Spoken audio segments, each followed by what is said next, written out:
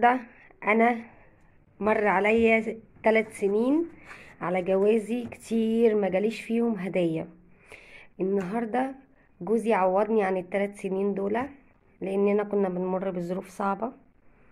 وأنا مش عارفة عيب أقول كده ولا لأ بس هو معودني كل عيد جواز بيجيب لي حاجات. فالنهاردة عوضني عن عيد جوازي فات. فاداني فلوس نزلنا أنا ومحمد المغربية اللي هي مرات خالي. آه، جبنا الحلة دي. خلينا نسلم عليهم. السلام عليكم. كديرين لاباس عليكم. إن شاء الله تكونوا بخير. نلقاكم هذا الفيديو بخير وعلى خير. كما قالت لكم أم رضوان. أنا مشاركة فرحتها. الله يدخلهم عليها بالصحة والعافية. آه، عطاها راجلها كما قالت الفلوس قالت لي يلا اختاري معايا شرات حنا نقولوا الحلة البرمات. كتكسو. كما غتشوفوا معنا شرات هذه. فانا جبت دي. وفرحانة وبغات جبت يعني دي تشارك معاكم وحلة الفرحة ديالها. البورمة بتاعت الكسكسي يعني- والمكرونة واللحمة. ودي جايباها عشان رمضان. أما يا محمد. جايبة لي دي هدية على حسابها. قعدت تحوش. وجبنا الحاجات دي وهنرجع لكم تاني. رجعنا لكم. ما شفتوا معنا. كان الباب بيخبط الأول. معايا صديقتي برضو. قناة أنا وجارتي أنا وجارتي الريف المصري أم زينة. قولي السلام عليكم. طيب أول مرة تظهر معانا في القناة. شجعوا القناة بتاعتها. هذه هي كنقولوا حنا الطنجرة والحلة هذه اللي عندها استعمالات ممكن دي إحنا يا جماعة تستعمليها. جايبينها عشان رمضان عشان إحنا هنصور خلاص في البيت. إن شاء الله عشان أنتوا عارفين الكورونا وكده. فأنا كنت بصراحة نفسي أجيبها. آه كنا مختارين أنا ومحمد من زمان أصلا. دي عبارة عن حلة ومقلاية في نفس الوقت. دي ممكن أيوه. هذه كتحيد هي كتخليها هيك بالنسبة باغيش الزيتي داير كيقفلها ملي كتقلى كتحيد هذه يعني لما نقلي والزيت يطرطش ممكن نقفل دي الغطا. سهلة يعني سهلة الاستعمال. وهذه لها عدة استعمالات كنظن دي يا تشريها تركي أصلي فرنساوي. تركي اللي هو الأصلي وعليه الختم بتاعه. وتخليوها حلة. أو طنجره كما تنقولوا حنايا. يعني بصراحة زوينة يعني ليها عدة استعمالات. اللي عايز السعر بتاعها يكتب لي في التعليقات وأنا هكتب لهم. اقلبي يا أم محمد؟ ما شاء الله الله يبارك. يعني جابت حاجات زوينين بصراحة. اقلبي ثقيلة. بصي استني كده. أيوه. أهو الختم بتاعها أهو. أيوه. اقلبي كمان. بصوا هي من جوه. دي لا ما شاء الله تقيلة ثقيلة. وحلوة. وستانلس أصلي. وتيفال من جوه التيفال اللي هو ال- يعني المضمون يعني. حتى الخامة من بره باينة عليها قوي الغطا بتاعها. برضو أهي. دي يا جماعة في رمضان هتنجز معاكم حاجات كتير جدا وقبل رمضان والعيد. يا رب. دي أنا بصراحة أنا كان نفسي فيها وزي ما قلت قلت الام رضوان ما تستعمليهاش للقلي خليها ل... أنا ممكن حلة للقلي وممكن. أستخدم كمان لو أنا هعمل خضار مسلوق. كيخسر يعني كيخسر الحوايج كيخسر المواعين أو كيبوظ المواعين. أيوه. دي بصراحة كان نفسي فيها. كما تنقولوا حنا بالمغربي بالصحة والراحة. عارفة أكتر حاجة مفرحاني إيه؟ إن أنا أول مرة من ثلاث سنين هحتفل بعيد جوازي. الحمد لله الحمد الله لله يخليك دائما فرحانين تابعوا معايا بقى وإحنا بنفتح حلة البورمة دي عشان هتعجبكم جدا. يلا تفتح معاهم البرمه السلام عليكم ورحمة الله وبركاته. النهاردة بقى أنا بكمل معاكم الجزء الثاني زي ما قلت لكم الحمد لله ربنا فتح على جوزي والحمد لله الحمد ربنا لله. قدره إن هو يعوضني عن ثلاث سنين ما جابش فيهم هدية لعيد جوازنا والمناسبة دي سعيدة بالنسبة لي اليوم اللي أنا اتجوزت فيه جوزي ده كان يوم حلو آه وثلاث سنين صعب على أي واحدة إن هي ما ما يجيلهاش حتى شوكولاتة أو وردية فربنا قدره واداني فلوس زي ما أنتم شايفين جبنا الحله اللي أم محمد شرحتها معاكم ودي كان نفسي فيها جدا حلة ال دي اسمها عندنا حلة المكرونة والكسكسي واللحمة كل حاجة. أنا عندي حلة ضغط فكان ناقصني الحلة دي هفتحها معاكم. إحنا كنسميوها البرمة هي اللي اللي فايته على البرمة عاطينها عاملين فيها عاملين فيها ده منها للداخل. في منها آه. اللي هي دورين مصفة وحلة بس. أنا مم. جايبة اللي هي أربع أدوار. تمام هفتحها معاكم. بسم الله الرحمن الرحيم. هما الكسكاس بيقولوا ليه بيسموه دي يا جماعة ستانلس اصلي كسكاس بيقولوا فرنساوي. كسكاس. آه. ستانلس فرنساوي. قربي كده يا أم محمد. قربي بالكاميرا كده فرجيهم. بسم الله ما شاء الله. حلوة ستانلس أصلي أصلي. ربنا يجعلها خير لأن أنا كان نفسي فيها من الفيديو اللي إحنا صورناه. ودي الحاجة التانية اللي هي المصفه بتاعتها اللي من فوق. مم، زوينة الخامة دي يا جماعة ممتازة جدا. إحنا دي كنستعملوها في الكسكس. كسكس فاللحم بخار بسم كل الله شيء الله اكبر ما شاء الله ومبروك علينا. لأن دي هنستخدمها طبعا في التصوير في رمضان إن شاء الله. عندنا برضه في البيت وفي المناسبات. إن شاء الله يا بصوا رب يا جماعة دي حاجة كده فوق الممتازه هذه هي الصفاية اللي قربنا من داخل التصوير عليها. هشرح لكم كل حاجة هذه هي وهقول الصفاية لكم اللي داخل. استخداماتها إيه. دي بصراحة كان نفسي فيها جدا يسألوا أم محمد. لا وكان يعني عيني هتطلع كده وأنا بصورها يعني. هي كتبت لك اليوم بإذن الله الله. أكبر. اللهم صل على سيدنا محمد. عليه أفضل الصلاة والسلام. الختم بتاعها أهو. أهم حاجة الختم ده يا جماعة. أيوه. تقربي الختم. اهو يا جماعة مكتوب عليها تركي فرنساوي استيراد فرنساوي. وهي تركي تقفيل تركي. بصوا من جوه. دي صلى الله عليه وسلم كده. صلوا على النبي. معايا. ليها كذا استخدام. هنا ممكن أنا أعمل فيها محشي من غير ما ألجأ لأي حلل أربع حلل وخمس حلل. هتقولي لي إزاي بقى؟ هقول لك كده بصي. خليكي ركزي معايا يا ام محمد أيوه أنا هحط المية هنا. أيوه. هتسلق المية. أيوه. هقوم حاطة المصفى كده. أيوه. حاطة ورق المحشي المتقطع. مهم. المحشي يتسلق يتقلب. أقوم مطلعة المصفى. تلت المية معايا. صح كده؟ أيوه. لو أنا عايزة أطفي على المية وأخلي المحشي كده أهو بالمية. تمام؟ لحد مثلا ما ما يخلص. خلاص خليناه شلناه صفينا المية. هنحط المصفى دي من فوق. ممكن نحشي والرص هنا اهو عقبال ما نجيب إيه الحلة اللي هنحشي فيها. أصبح إن إحنا إيه معانا ده الغطا بتاع دي. الغطا أهو. ده بالنسبة للمحشي. من غير بقى ما أجيب صحابة. حلة واثنين وثلاثه تمام؟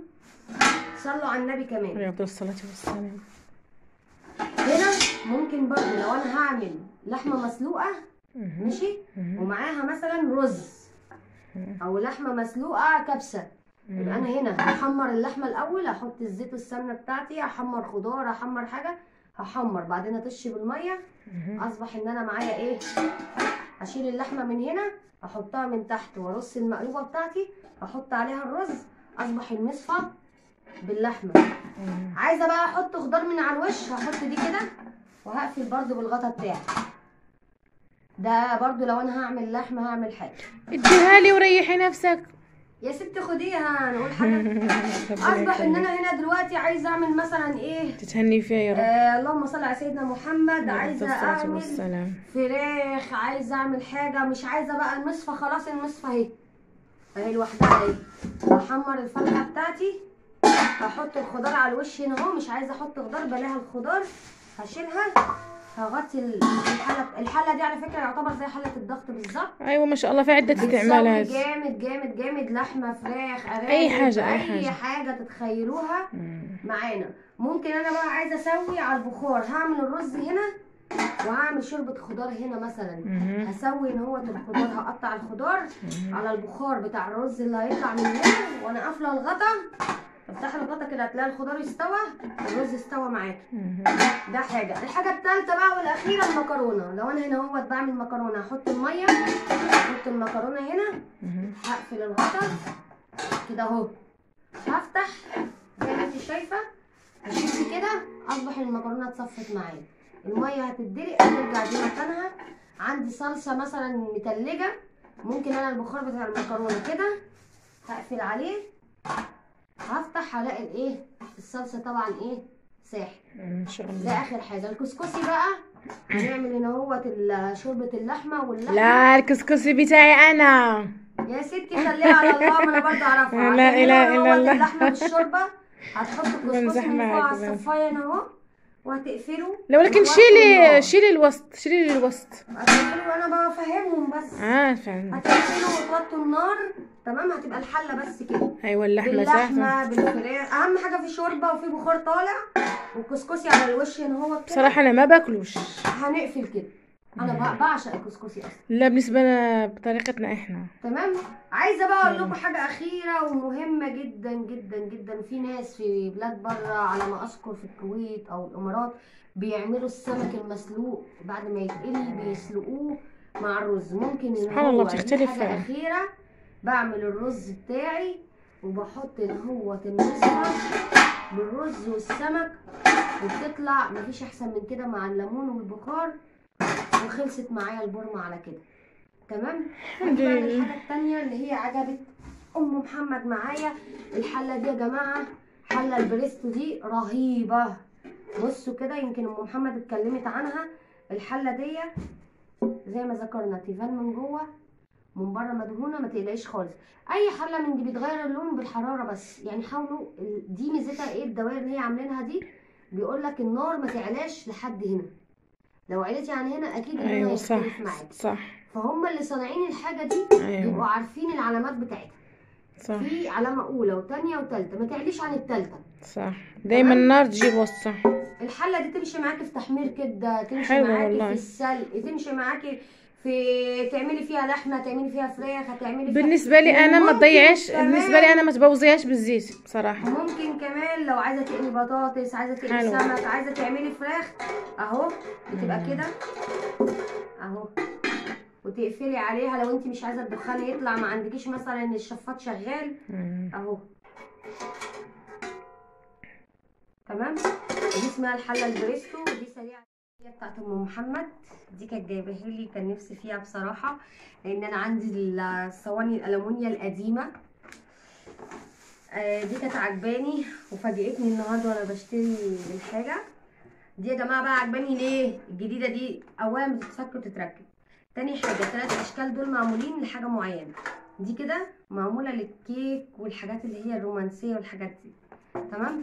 المدورة دي معمولة البسيسة البسبوسة ال- الكيكة. ممكن تعملي فيها كمان عزيزيه ممكن نعمل فيها رقاق. ممكن نعمل فيها جلاش مدور. أما الرابعة دي معروفة معروفة دايما إن هي للرقاق والجلاش بس. في ناس ما بتعملش فيها رقاق وجلاش في ناس بيعملوا فيها أكل. أكل بيدخلوه الفرن. فاهميني؟ يعني ممكن يعملوا هنا صينية فراخ مثلا. ممكن يعملوا طاجن آه، لحمة بالبطاطس. برضه بتنفع في كل ده ممكن ما تفكهاش بقى ساعتها بتدخليها على طول على الفرن وتطلعيها تبقى سهلة معاكي. فأنا كانوا عاجبني التلات أشكال دول وأم محمد فاجئتني بيهم النهارده وأنا بصراحة بشكرها لأن أنا كنت بمر كده بظروف ما يعلم بها ربنا وربنا الحمد لله فرجها علينا. عقبال يا رب كده اما اردها لك يا إلهام قريب. وصلنا لنهايه الحلقة معاكم وأقول لكم آه، إحنا بنكبر بيكم وكل سنة وأنتم طيبين ورمضان كريم عليكم. وأتمنى إن أنا في رمضان أقدر أفيدكم بالحاجات اللي إحنا جبناها ونعمل فيها طبخاتنا. واستنونا.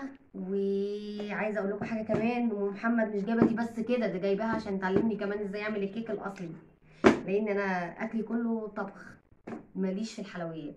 فهي قردة وقرشانة في الحلويات ف تعلمني إزاي اعمل حلويات يلا تنسوش تدعمونا وتعملوا لنا مشاركات. أهم حاجة ال like يا جماعة.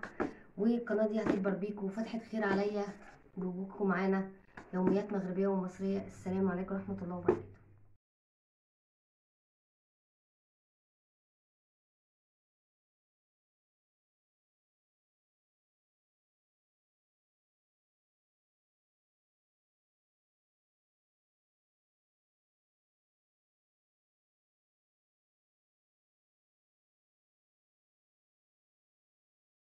you